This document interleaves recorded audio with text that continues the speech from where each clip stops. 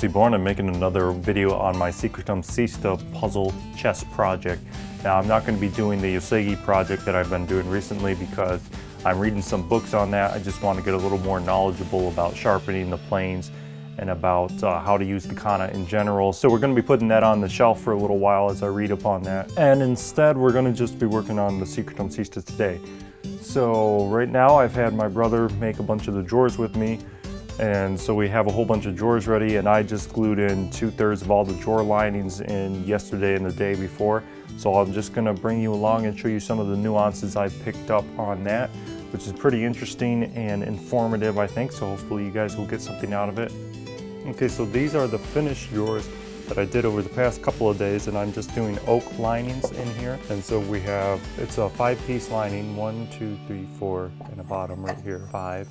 All out of oak, not all, it's not like quarter sawn oak, so you don't have the rays that stand out, but uh, it's still a nice effect. And I made them pretty thin so that we still have a bunch of space inside the drawer for putting things in there if you so desire. So the drawers actually came out really nice too with the dovetail joinery. There's not a lot of uh, seams or cracks or anything, so that's great. We did a really good job. We got our system down when making these, so that was really nice. So anyway, so that's two thirds of it, and then these are all the center drawers. Um, so if you look right here, you got one, two, three, and these drawers, 25 of them, are what goes right here and they've just they're just a hair narrower based on the design. So um, I saved those out separately and I have some of the drawer linings here ready to go. These are all oak. I've got to make a little bit more of that. So if you take a look over here I have this saw set up with a couple stacked up dado blades that I just cut these shoulders with. So if you see this cut right here, we need to cut the shoulder. I'm gonna go ahead and I'm gonna cut these up so that we have enough linings and then I'm going to show you how I uh, inlay them into the, the drawer so that we don't have any seams and we don't have any glue creep out which is not uh, not visually very appealing. So okay let's get started. I made this little uh, this throat plate insert for my camera here so that all I have to do is just put it right here.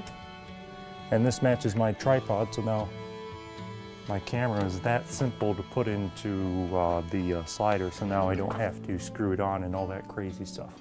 Way better. So now we should be able to get more time lapses, which I know everybody likes.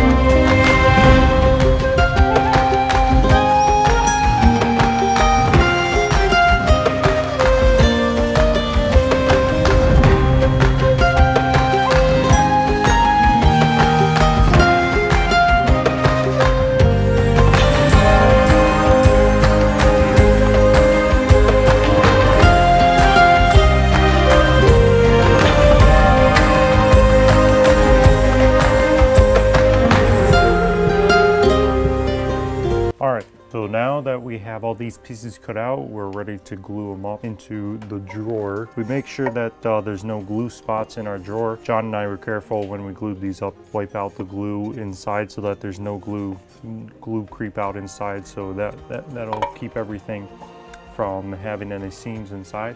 So what we're gonna do is we're just gonna grab one of these.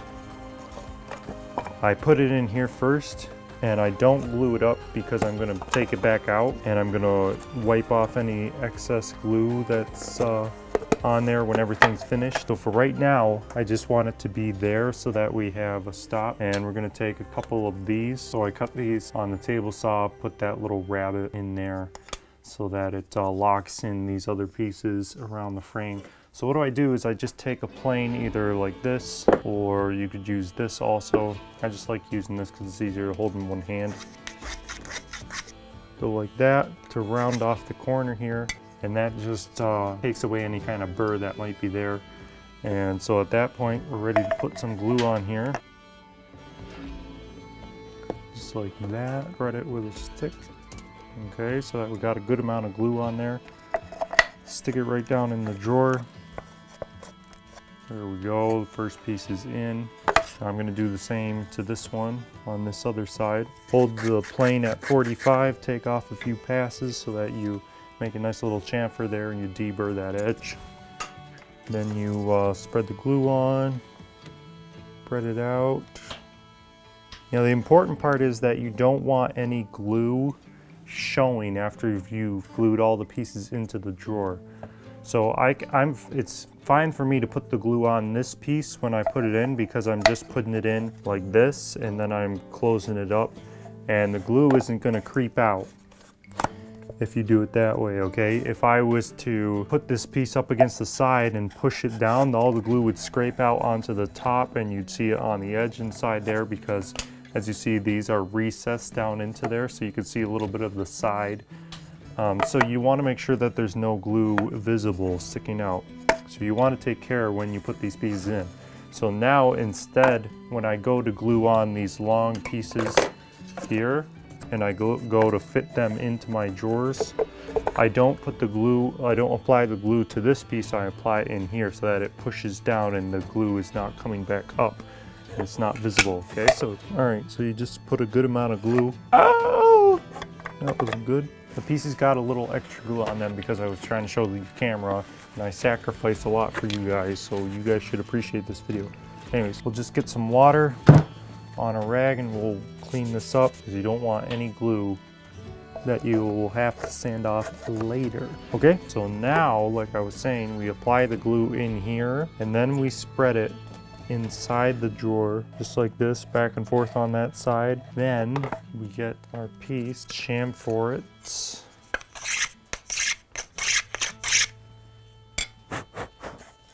And then we stick this right down in there. Okay, now as you can see, we have a little bit of glue in the bottom here, but that's fine because we didn't glue in this bottom piece. So we're gonna be able to take that out and just scrape off that glue and clean it right up.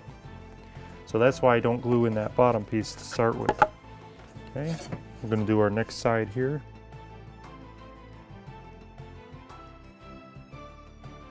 And I'm just going to put two clamps on here when I'm finished because I noticed that uh, glue tends to want to bow things a little bit.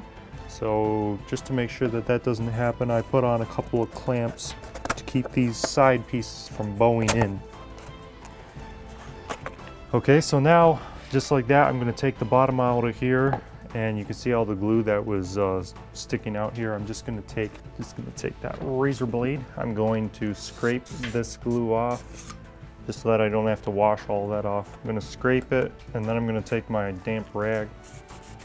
I'm just gonna make sure that there's no hint of any glue in there so that when I put the finish on, it's not going to highlight any glue that's left on there. Okay, gonna make sure that it's nice and clean in here.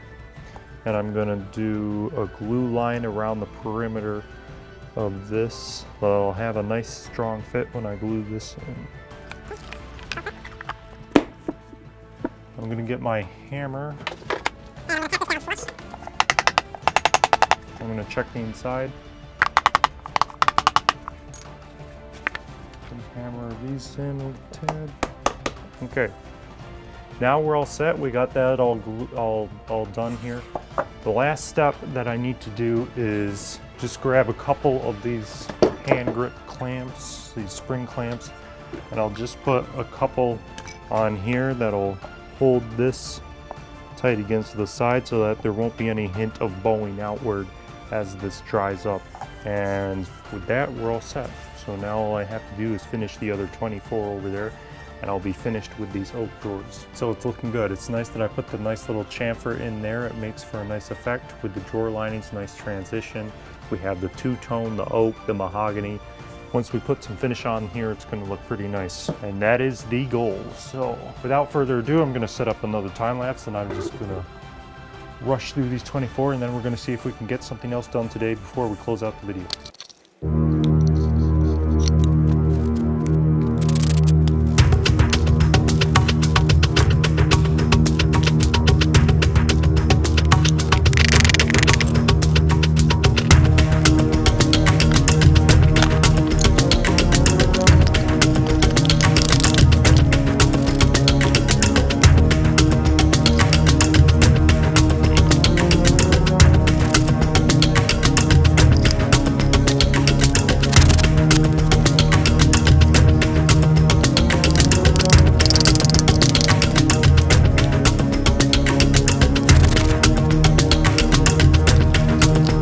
Okay, so we're gonna wrap it up. I decided to cut this video short because I could go into how I sand the drawers and fit them into the puzzle chest, but I figured that'd be best left to another video.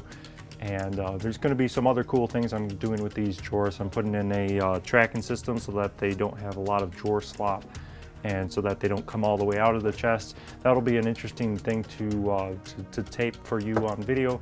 So I plan on making that one soon, so be sure to check back for that. Um, I'm to call it a night and I'll see you again later. Goodbye.